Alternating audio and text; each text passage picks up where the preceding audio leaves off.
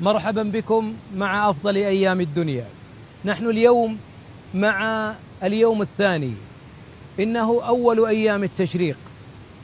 إنه اليوم الذي أخبر الحبيب صلى الله عليه وسلم أنه من أيام الأكل ومن أيام الشرب أيضا وذكر الله جل وعلا كثيرا. الحاج قد استقر في منى وقد رمى جمرة العقبة.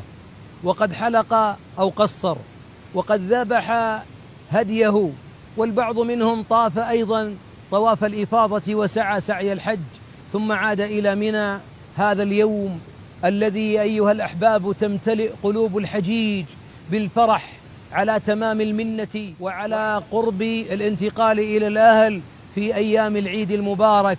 هو لنا يا من لم نحج لنا هو يوم العيد الثاني. ولأهل المكة أهل الحج إنه اليوم الأول من أيام التشريق.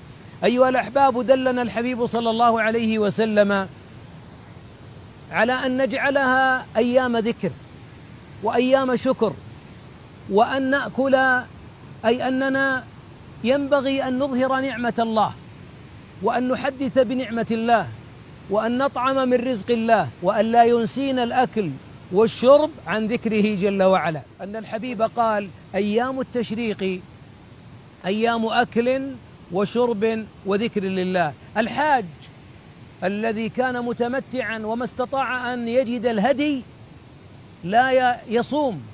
لكن لاحظ لو أن احدا من الناس يصوم حتى أيام التشريق على الصحيح. لكن نحن يا من لم نحج البيت الحرام. لو أن أحدنا أراد أن يتقرب إلى الملك العلام بصيام هذه الأيام قلنا له قف إنها أيام أكل وشرب. لا يجوز صيامها نفلا. لا يجوز صيامها نفلا. وتلاحظون أنها أيام هي أيام هي الأيام التي تأتي في الأيام البيض. الأيام البيض فيها الثالث عشر والرابع عشر ومع ذلك لا تصمها لتغليب الفرح في هذا اليوم. على الصيام لأن الصيام عبادة والأكل والشرب عبادة وذكر الله عبادة. الله يجعلنا وإياكم من الذاكرين الله كثيرا. وعاد عيدكم أعواما عديدة. ورحم ربي كل مسلم ما أدرك العيد. أستودعكم الله.